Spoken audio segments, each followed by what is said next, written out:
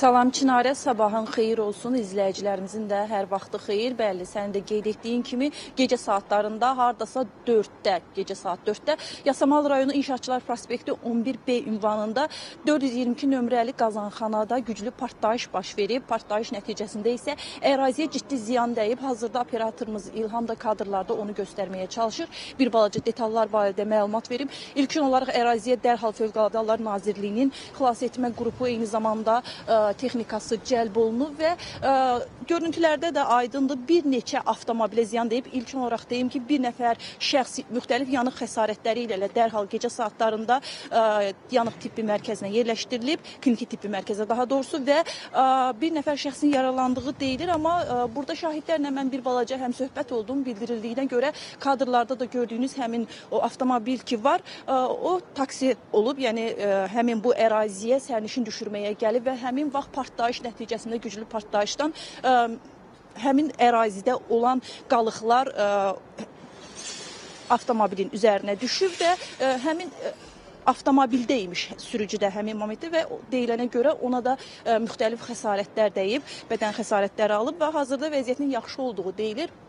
Eyni zamanda ərazidə yaşayış binaları ki var, ə, onların ə, şüşələri sınıb, eyni zamanda ə, yaxınlıqda kabel şəbəkə televiziyası binası var. Onun da binasına ciddi zərər dəyib. İndi hazırda operatorumuz kadrlarda onu göstərməyə çalışır.